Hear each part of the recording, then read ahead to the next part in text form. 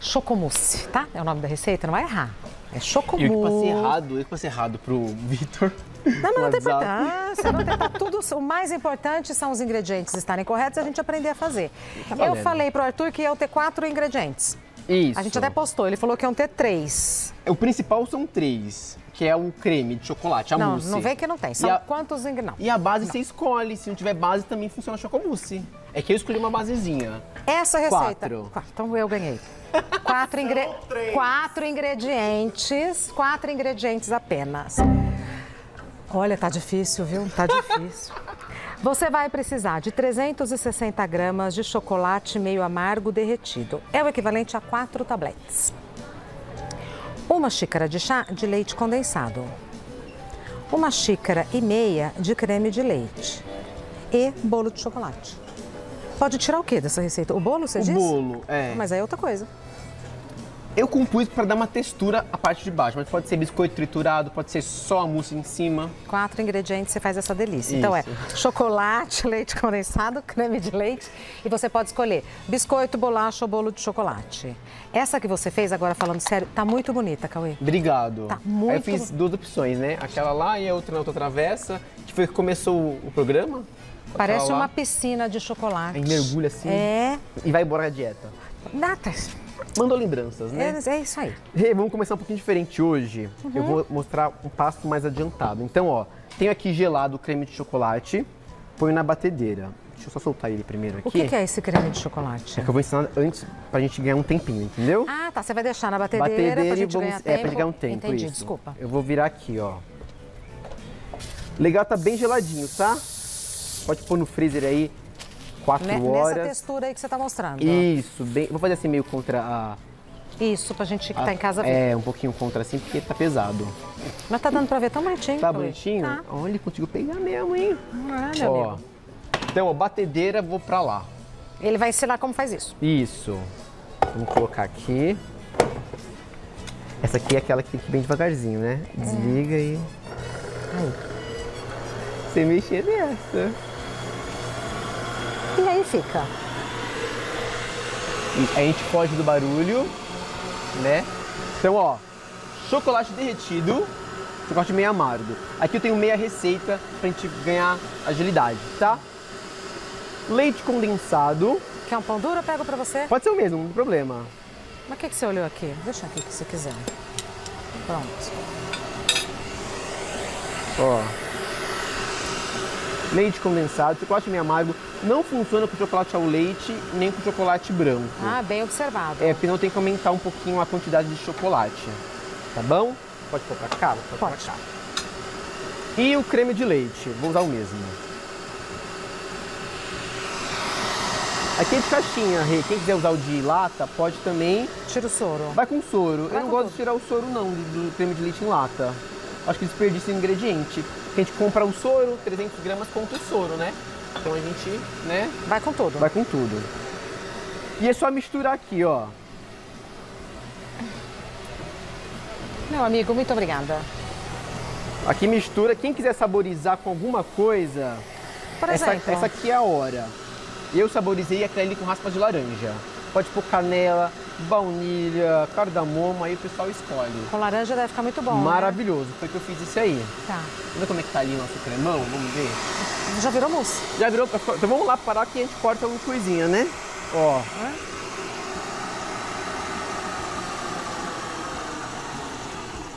Aqui é bater só até ele ficar um pouco mais claro e ganhar um volume. Ganhou bastante volume. Ganhou, vou tirar aqui, Olha. ó. Vamos trazer, levar pra lá, posso? Pode.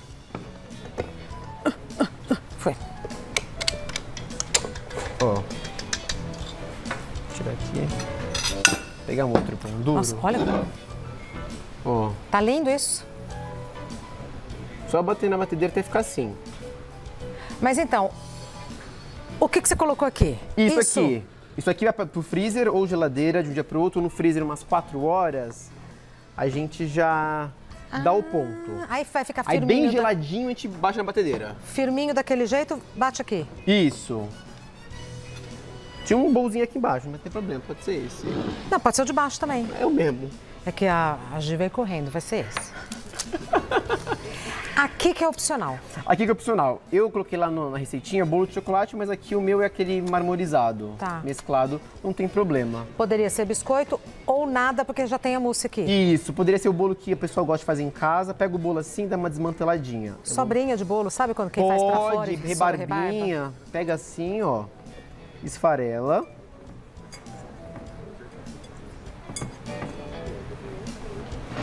Combina com bolo de laranja. É que eu não achei bolo de laranja.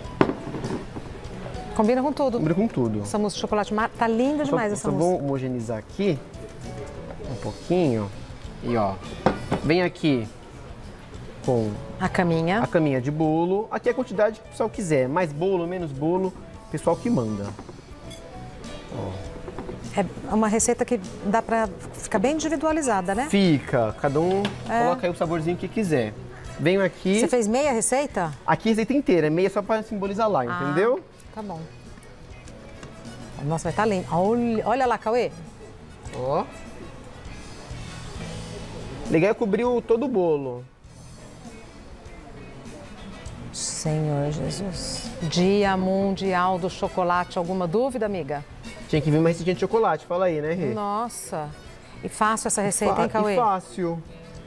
A gente sabe que tá tudo caro, que é tudo que é lácteo agora tá bem caro, né? Leite, Leite condensado. leite condensado, creme de leite, então a gente tenta trazer uma economia aí, né? Porque a real mousse é feita, é feita com creme de leite fresco, gemas A aí, receita clássica, a clássica, né? é. A gente vai numa receita tipo. Que a gente atrapalha aqui, Tipo não atrapalha, vou pra cá. A gente acerta, senta assim, ó. Já tava bonito o rústico também. É que você é muito caprichoso, né? E aí, um eu fiz umas raspinhas de chocolate, igual eu fiz ali, ó. Peguei o chocolate em barra, aro ou algo que é redondo. Pode até pegar uma colher assim, pega a barra, põe no micro-ondas 10 minutos, 10 segundos no micro-ondas, aí vai ficar um pouco macia, vai raspando, forma essa, essa lasca. E a gente vem aqui, só em volta assim, ó.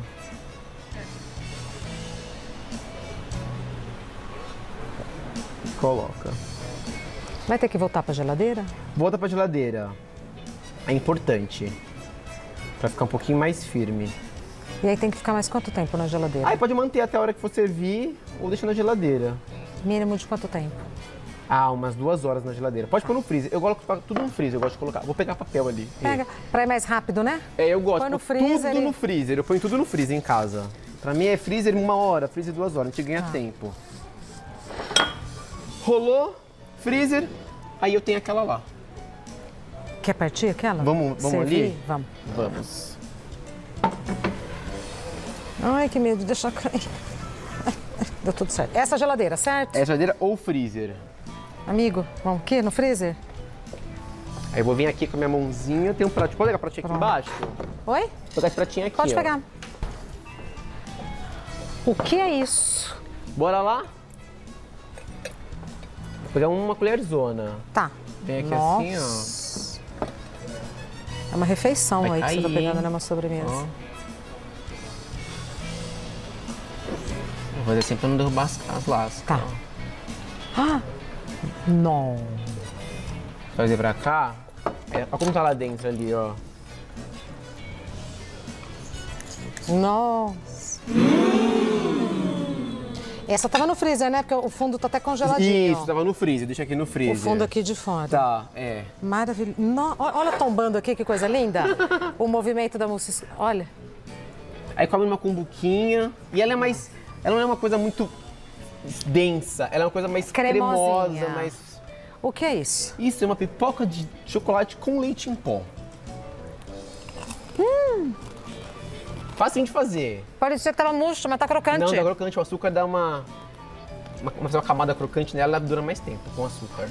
Como é que faz? Como é que faz rapidinho agora? Sim. Rapidinho já. Uma xícara de, de milho pra pipoca, uma xícara de açúcar, duas colheres de sopa de óleo, duas colheres de sopa de água e uma colher de sopa de chocolate em pó.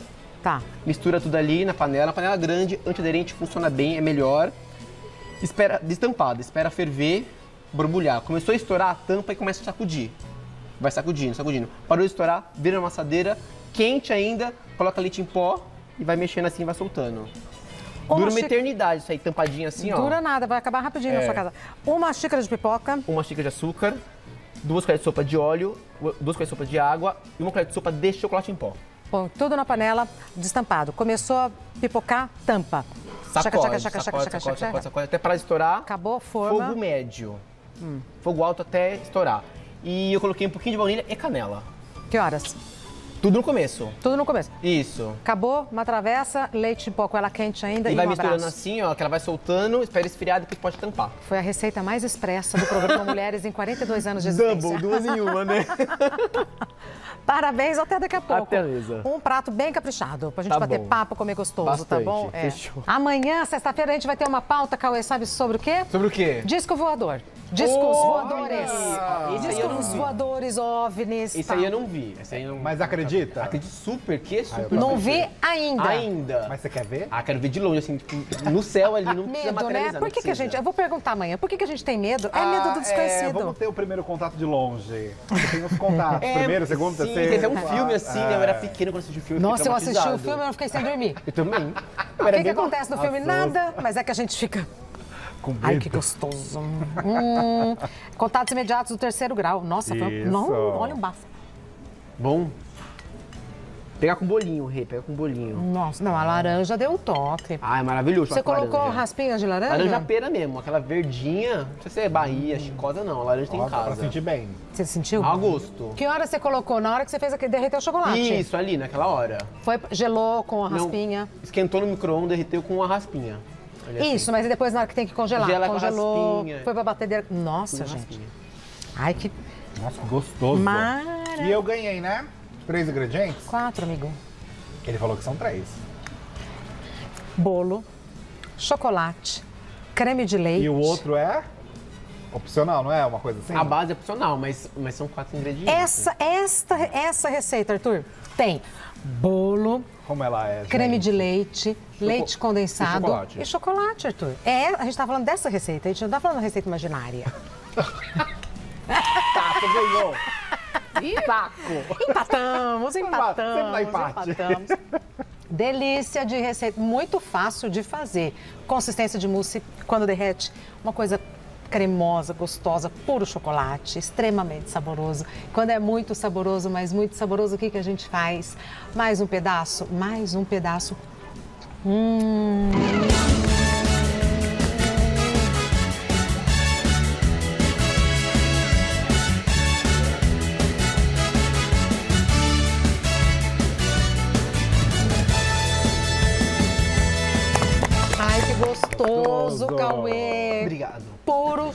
Chocolate.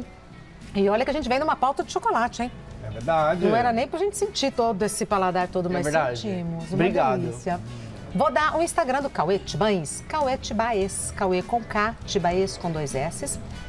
No Facebook você encontra a- o conteúdo que o Cauê produz como Food Makers, tipo a receita da pipoca que ele deu, né? Rapidinho, Exatamente, tu, tu, explica tudo, Explica tudo. não faz pra fora, dá aula, quem sabe. Por enquanto não. Vamos ver aqui da- daqui uns meses a gente vai tentar dar uma adaptada, fazer uns conteúdos pro Instagram aí, pro meu, não, no caso, né?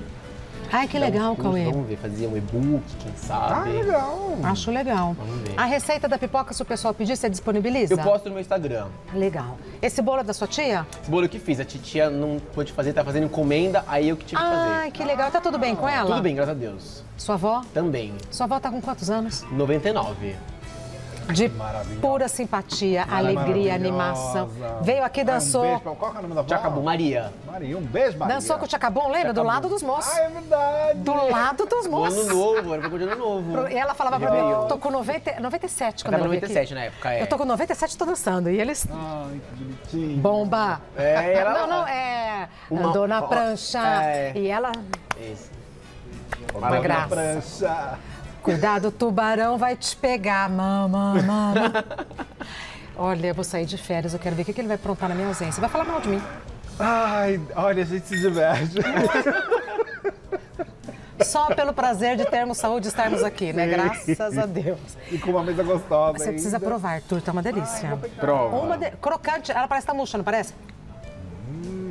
Olhando você não parece? Eu achei que ela tivesse murcha, vou ser sincera. E parece muito doce. Boa. Não Tá é. Super crocante. Ai, gostosa. Gosto. Cauê está mais magrinho, tô achando, sabia? Eu tô. Tô achando, não tá? Ou é a roupa? É que eu peguei Covid. Não me diga. Você passou mal?